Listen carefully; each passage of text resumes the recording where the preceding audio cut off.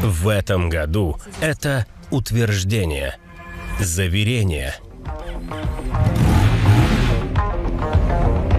Это пересечение грубого и изящного, спокойного и неудержимого.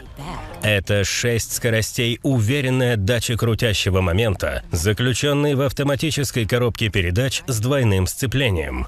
Обычная езда и в то же время все, кроме обычной езды. Это идеальная песня в нужный момент. Да, это именно оно. Стандартная система АБС, светодиодные фонари спереди и сзади и 87 лошадей, которые позволят повеселиться. Что ж, это неожиданно, ведь это спортбайк, который выглядит как крузер. Высокие обороты и молниеносное переключение передач. Маневренный и компактный. Он покоряет повороты один за другим. Этот и еще один. И еще.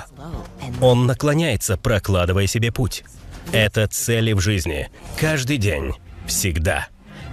Это спасательная капсула, которая преодолевает расстояние.